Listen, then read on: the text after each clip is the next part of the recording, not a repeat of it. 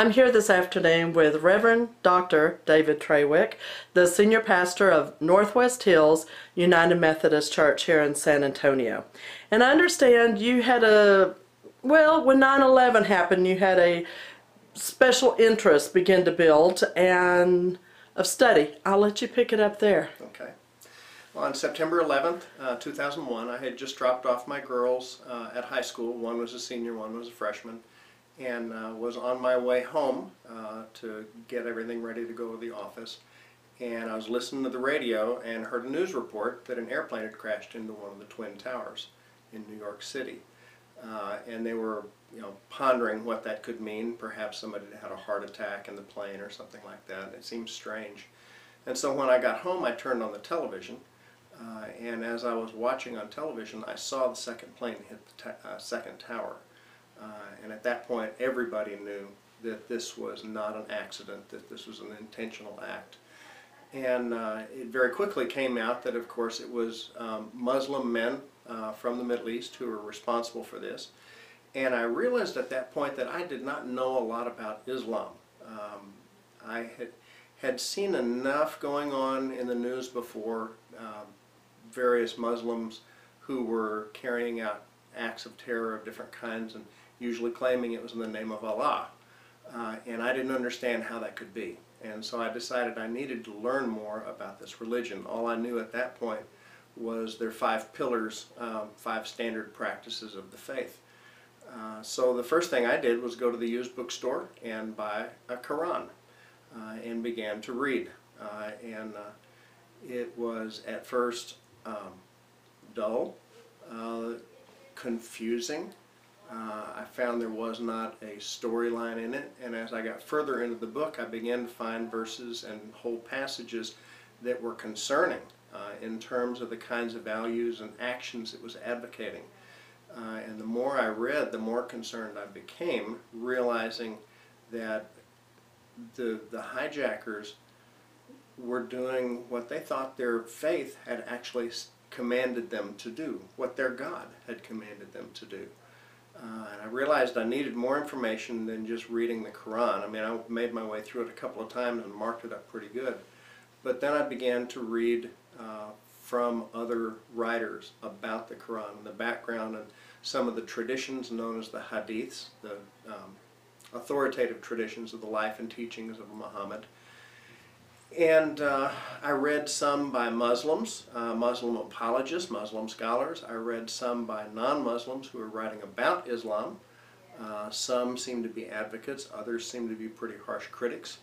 Uh, and the more I read, it was kind of um, giving me more reason for concern. Um, and uh, I realized if I had such little understanding of what Islam was all about, I figured most of our population was in pretty much the same boat. Uh, and my congregation would be similarly uh, ignorant of what, uh, what Islam was all about. and uh, after um, a period of several years of reading and study, uh, in the midst of all the other reading and study that I do, uh, felt like I had enough information that I could begin to educate my congregation. Uh, one of the things I did early on uh, was uh, a sermon that addressed Islam. I did it in the context of a series of sermons addressing what our neighbors believe. We have a Mormon stake right behind us and so laid out um, a little bit of the Mormon faith and how it's similar and how it's different. Uh, Jehovah Witnesses church up the street from us and uh, talked about what they believe and how it's different and some similarities to what we believe uh, and laid out Islam. Uh, and um, the response was instructive to me, uh, that this was all new information to our congregation, that nobody had a clue that such things were in the Quran. They'd heard of it, no one had ever looked in one. Um, it was not too awfully long after that that I had requests from folks in the congregation for more education about this. Uh, and since I had been continuing my own study, I knew that there was, I could put together a, a fairly good series of, of lessons, uh, which ended up being about 10 or 12 lessons that I taught uh, that covered the life of Muhammad, the early history, some some later history, nothing ex, uh, uh, exhaustive of Islam. Um, some of their theological developments, uh, specifically focusing in on particular lessons on jihad, uh, what the Quran says about women, uh, and some other things like that, uh, and a section on what uh, the Quran says about Christians and Jews. Uh, and it was very interesting to see the response. I had probably 35 people come the first time. I did it again a few years later and had 40, 45. Uh, this last year I taught it again, I had 90. Uh, with all the things that have been going on recently, the, the uh, interest level was quite high. And I actually had people coming from, oh, 30 miles away on the other side of town because Wow. this was the only place they knew anything like this was going on. Well, you're here in San Antonio, and I understand that there's numerous mosques that have been built here. So, um, is that stimulating some of the interest of the community? Actually, there has not been a lot of development over in this part of town. Uh, there was a uh, Muslim school that came up not far from here. Uh, I don't know what happened, but they disappeared uh, after a year or so. Uh, the building's being used for something else, and we've not seen anything else go up. Um, so that hasn't been anything that's particularly stirred the folks in our congregation. Uh, although they are aware of developments taking place in, the, in our own country um, in terms of some places where Sharia law has been used in family courts. Uh, and in fact, here in Texas, they've got the American Law for American Courts um, bill going through the, the uh, Texas Senate and House right now. Um, and we've got folks who are aware that you know some cities like Dearborn, Michigan, have a sizable population of Muslims in such a way that they're really able to carry out their own culture and their own courts within certain neighborhoods where you know other people are really not welcome. So they're aware that those things are developing in some parts of the country, but but there's not been any concern in terms of what we've seen here in San Antonio. Um, uh, to my knowledge, there have not been any problems between the Muslim population and the non-Muslim population. Um, and like I say, in our part of town, we've not seen mosques pop up. I do know there are some around, but not in this, this edge of town. You, it's obvious that the interest has grown from the very first time. uh, Well, it's basically tripled by the time you did your 3rd um, series on it. Um, what particular areas were their interest? What what particular were they drawn to to learn about? Um, the two areas in particular, I would say, I mean, the, the two hot topics Yeah. would probably be jihad and what the Quran says about women and the treatment of women. Um, and when you think about our society and what's going on in the news today, it's natural that those would be the two big ones that folks would be most interested in. Um, the rest of it kind of provides a historical and theological framework for what's going on. Um, but uh, those would be the two primary areas of highest interest among our folks. Iran, I understand that back in the 60s and 70s was pretty much a Western type of culture, and now mm-hmm. it has uh, forced its citizens into um, being ruled by the Islam as being a statewide Yes. ruling of their mm-hmm. government. So it would greatly impact the women. So, can you elaborate on some of the differences between Western culture and what the Quran says about women? Um, some of it, some of the difference comes directly from the Quran, but that really lays a foundation for broader teaching that comes out in Sharia law. That's not all directly from the Quran, but the Quran lays the foundation that women are, um, the Quran and the Hadiths, I should say, uh, together lay the foundation that women are spiritually inferior to men. Uh, there's a teaching that uh, a woman coming into the presence of a man while he's in prayer nullifies his prayer. Um, there are uh, there are comments by Muhammad. I think it's in the Hadiths that he, uh, Allah had given him a glimpse into hell, and most of the inhabitants there were women. um, a variety of kinds of things like that that really denigrate the spiritual value of women. Um, although, interestingly, I, I have read that um, some of the rules and regulations that Muhammad gave for the treatment of women were actually a step up from the polytheistic culture that surrounded them at the time in the Arabian Peninsula. Uh, the, the problem is uh, those rules and regulations are kind of frozen and are still carried out today. And it's regressive compared to today's world. So, for instance, a, uh, a woman um, can inherit from her father, but only half of what a son might inherit.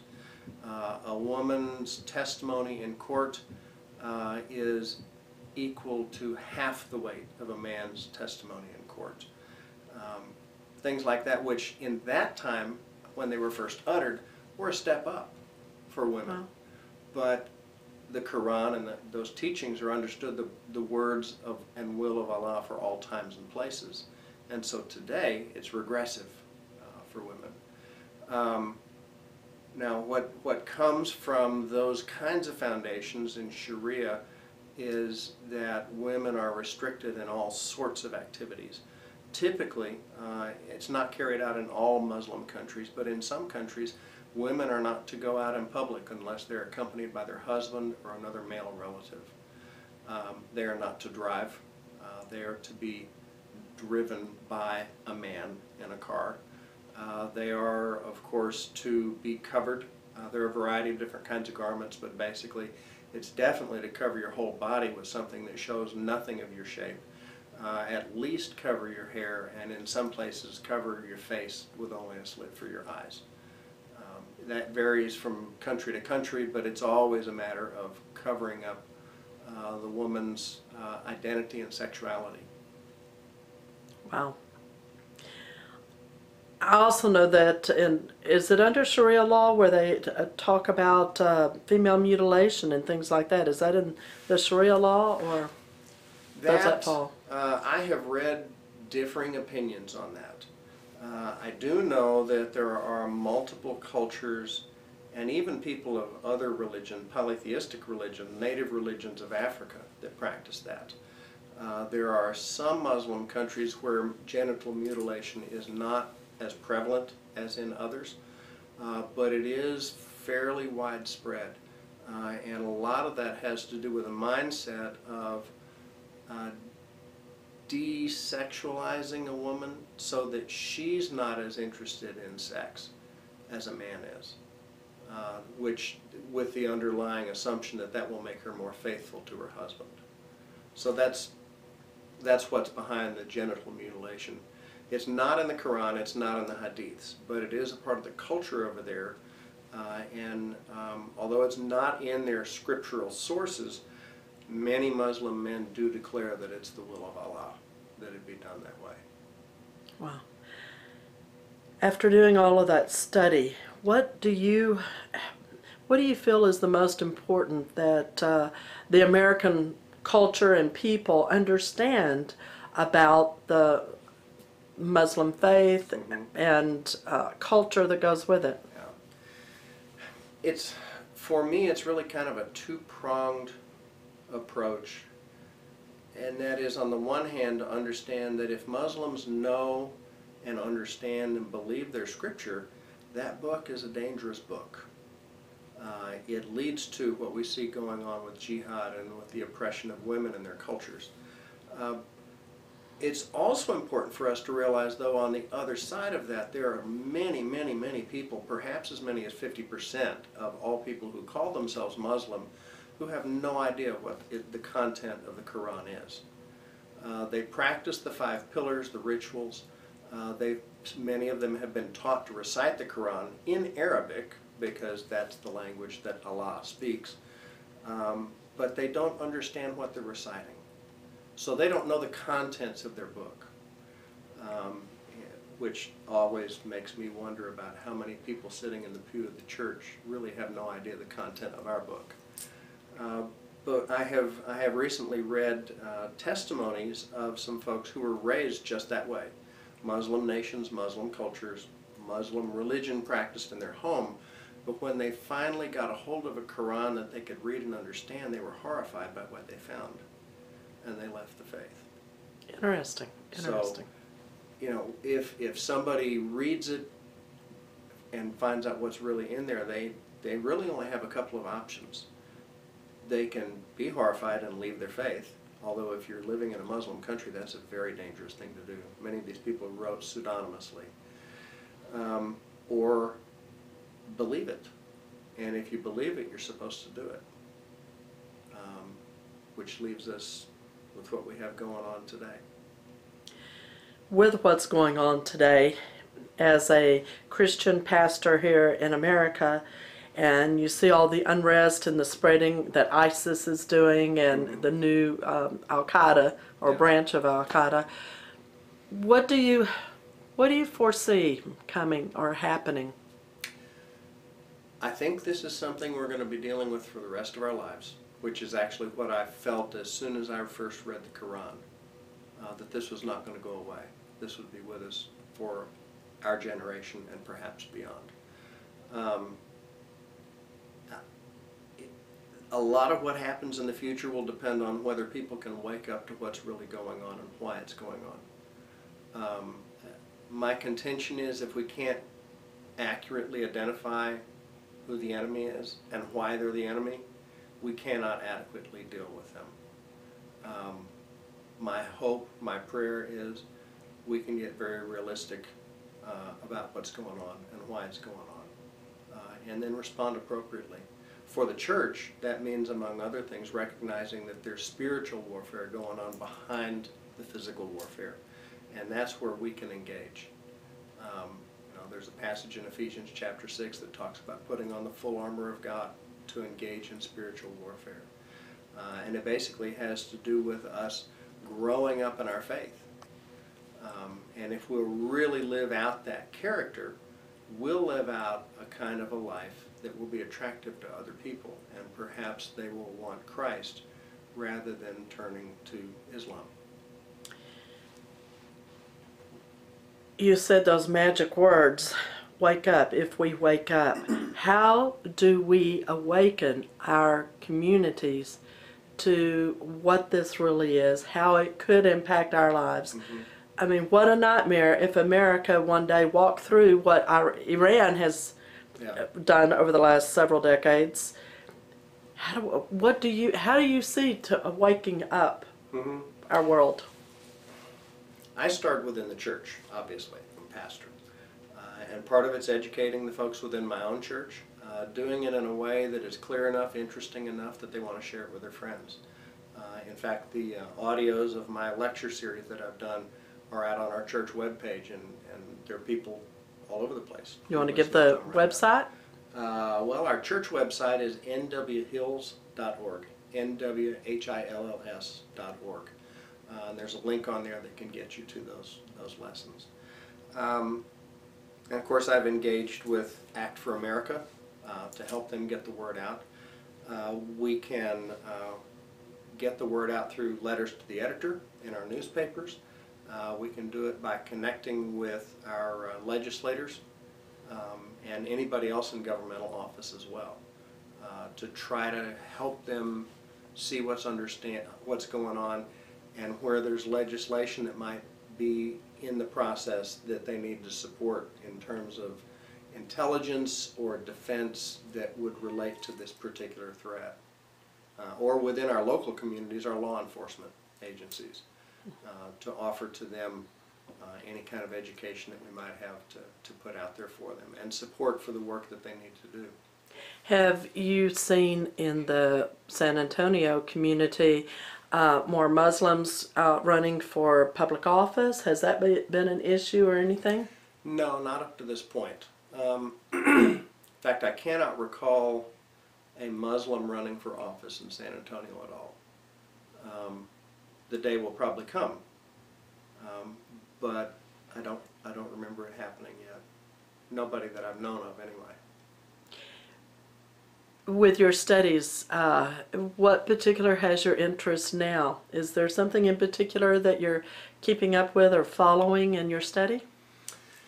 Um, well, let me see. The most recent deal, well, I picked up Mark's book while I was in San Angelo uh, because he's uh, got some experience in terms of doing evangelism among Muslims, uh, which has always intrigued me, and I have not found a good resource on it yet. And uh, so, in fact, that's next on my reading list, uh, is to go through that and, and see what we might do here in San Antonio. We're, we're in a place where we'll have to go out of our way to find the Muslim community here uh, and to find them perhaps in places like the folks at Village Parkway Baptist have, where they own and run a restaurant and most of their customers are, are Muslim. There might be opportunities there for us to establish relationships and in that context be able to uh, show and share the love of Christ, uh, hopefully in ways that will be enticing to them. Any any last words? Any thoughts that you'd like to share with my audience? Hmm, Big question. real big question. I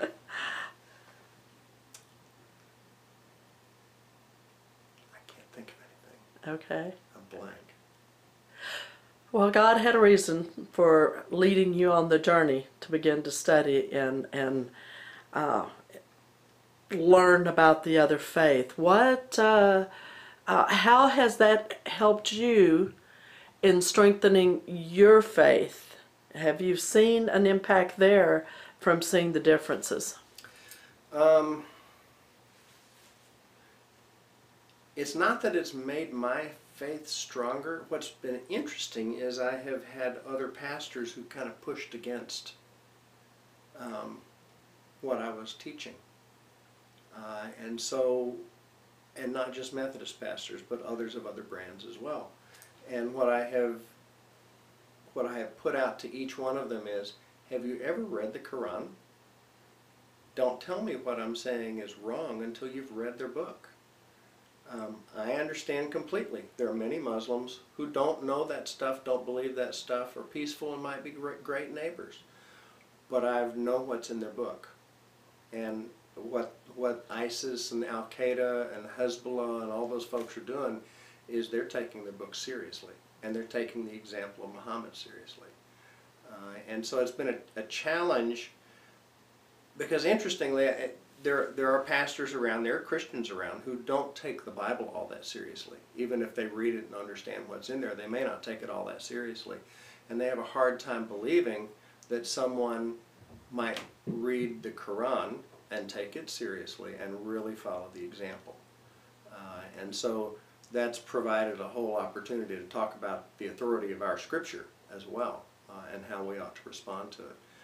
But uh, I think the, the, the Muslim fundamentalists, I don't call them extremists or radicals, I call them fundamentalists, um, may in some ways present a real challenge to Christians who don't know or understand or take seriously their book. Um, they're taking seriously theirs, we need to see what's in ours and how different it really is. Absolutely. I think that's a perfect place to wrap in that uh, Christians do need to take the Word of God seriously as the Muslims are taking their Quran seriously. Very much so. Thank you so much for your time. I really do appreciate it. Thank you, Kat.